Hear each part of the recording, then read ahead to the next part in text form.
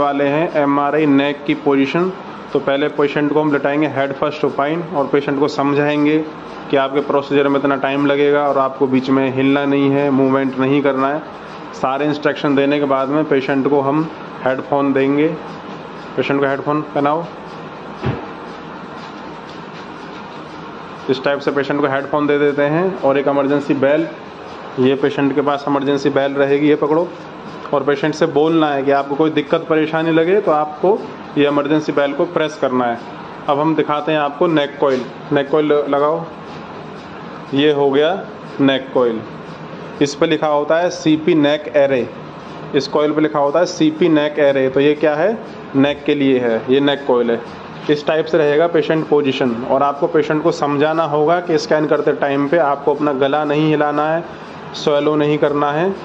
और बिना हिले लेटना इस टाइप से आप बता दो पेशेंट को और सम...